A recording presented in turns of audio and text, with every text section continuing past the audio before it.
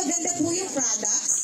Sa tingin niyo po, maganda po ang business? Yes! Sa tingin niyo po, marami po tayong uh, mahihikain gawin po yung business? Yes! Okay. Ngayon naman po, ang tatawagin ko po ay um, isa pong leader din.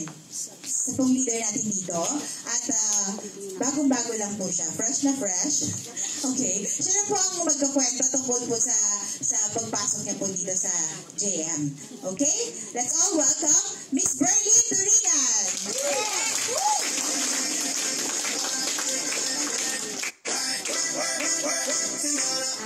good morning. Ay, good afternoon. Good afternoon.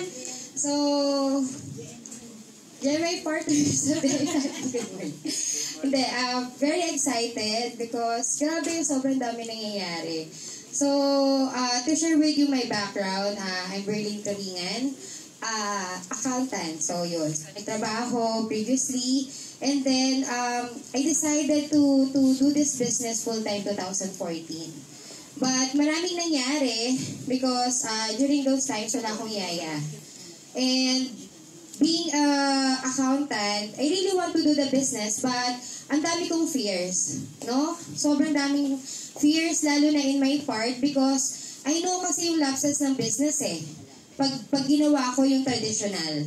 So I know the, the lapses of having the fixed cost, no? So sa mga hindi accountant, yun yung ano fix na binabayaran monthly ng mga um, business owners, no? Whether they they sell products or may mabenta or wala, fix talaga yon. So, I have that kind of fear. And then, this industry, uh, na-share siya sa akin, hindi ko pa masyado siyang uh, binibigyan ng pansin, okay? Tapos, um, nung comeback ko, uh, lately lang, so talagang na-appreciate talaga yung, um, yung system. Because, ang hirap palang gumawa ng negosyo pag hindi mo alam kung paano mo siya sisimulan. So, kumbaga dito talaga nakita ko the system work because yung mga tao na nag-invite sa akin, hindi ko naramdaman na pinagkakitaan lang nila ako. So, during my process, I really appreciate all my uplines and um, mentors talaga na talagang gumabay talaga sa akin. So, yung process ko is uh, very um, very amazing siya kasi I always share this to to mommies like me na alam mo yon yung kumbaga um, being a housewife and full-time to my kids sobrang uh, sobrang noble yung trabaho bilang mommy. But at the end of the day kumbaga being a woman kumbaga asa na ako? Ano nang mangyayari sa akin after nun? Lalaki yung kids ko they will have their own life.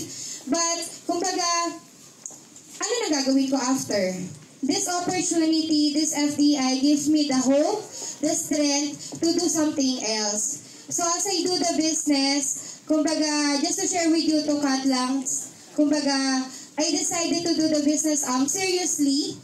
And then, um, uh, last uh, July, last July, uh, I invited my husband sa Malaysia. And then, um, kumbaga, akin, kumbaga, to the business, napatunayan ko talaga na this one can really help um, women like me to really rise up.